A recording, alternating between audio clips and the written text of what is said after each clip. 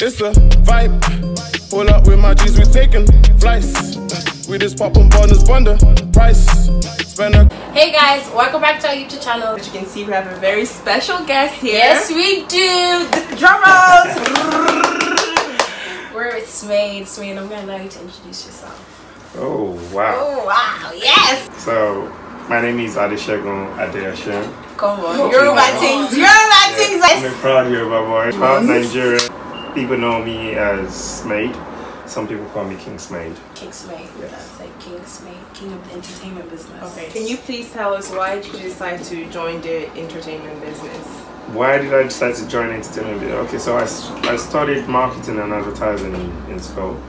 My my first degree and my second degree masters was also marketing and advertising. But when I was in my first year in uni, I was just trying to, you know, that you know period when you're trying to discover what you want to be, and um, the opportunity of, you know, being an entertainer came by. Yeah. You know, I I I was drawn into um, seeing people enjoy themselves in clubs and you know the excitement and stuff like that and I was known to always have people around me in my house and stuff so I didn't even? I didn't even know I was going to be a promoter to be honest with you I just it was just a career path that I saw as an opportunity and I grabbed it you know and it's paid well Smade Entertainment was actually my final year project in school Oh wow. Oh, yeah wow. so I, I, I knew what I wanted Yeah. and you know I drove it and I, I went for it yeah See guys, he went to school also. Don't be saying, oh, but this he went to school. His thesis was what his business that he's doing now. So guys, go to school. Yeah.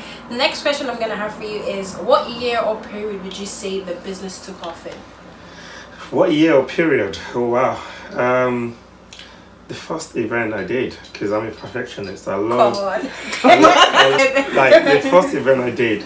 I did it without even being a promoter, but you know, um, it came. I did the event, and you know, the event was so good that the club called me back and said, "You know what? Roll part two, please. Are you a promoter?" I'm like, "Promoter? What's a promoter? I don't even know what a promoter." is." And they were like, "This event was so good." Because more? yeah they want they wanted more so they gave me more dates to promote shows in that club Yeah. and i must say that was the beginning of not turning back for me Wow. so that's when it took off yeah Next one is everybody knows that you have a great relationship with whoever you work with. So what's the secret in maintaining them relationships? okay so the secret to maintaining a relationship first is service you have to have good service you know mm. i'm passionate about my business so i look beyond just the business transactions Yeah. so i make sure that for example any artist that i bring down for shows make i make sure they have a good time they have a good experience. I provide them with everything. Anything they want i give it to them. so that kind of like helps keep the relationship Keep tight. going, you yeah. understand? So even after my event with them they still call me and talk to me about different things you know what i mean? Same thing with my club nights my events. When you come celebrate your birthdays or your parties with me i make sure you have a good time so that you'll be happy to come back. Oh, so wow. the secret is service. You have to always give a good service. Okay. And how do you deal with hate? Hate is something that comes naturally Yeah. in every business in every way of life even if within family you get Mm-hmm. hate um i over the years i've grown a thick skin Yeah. i see negative comments i see those things make you stronger i've always come through one eight to the other at every step of my career and i'm, I'm not even scared of what eight is coming next Yeah. i face it God's with you. Come on. That's it. Energy. That's it. Energy. You- That's you- energy. you said it all. Oh, yeah, that's I only it. believe in one thing Yeah. God.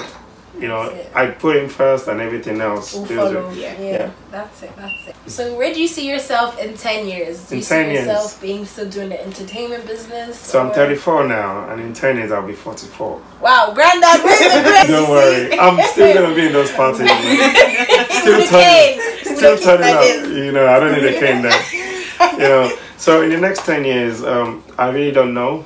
I just follow the lead that God, you know, anywhere God wants to take me, I follow. All I know for me right now is I'm working hard, I'm focused, and I'm trying to get better every other day. So in 10 years time, God might, I might say, okay, this is where I want to be, but that's not where What God, has wants me you, yeah. to be. So I just go with the flow. And don'ts of any beginner in the promotion Okay, industry? so there's loads of do's and don'ts. There's loads of advice I would like to share, but I can't say it all here. Yeah. But the little I can is like, you know, um, stay focused, believe, put God first, be good to people. this goes a long way. Yeah, stay focused, continue to believe. That's all I would say to you right now. So if you're out there and you want to be a promoter or anything you're doing in life, just believe. But don't forget to pray, guys. Prayer. go. We're not in charge of much. Just put God first. We still turn up. we still turn up, We turn up. Let them know. I would like to give a very big thank you to Smade for today. For Thank you for coming all the way from Dublin. Come on, guys. Iris, that's it, that's it.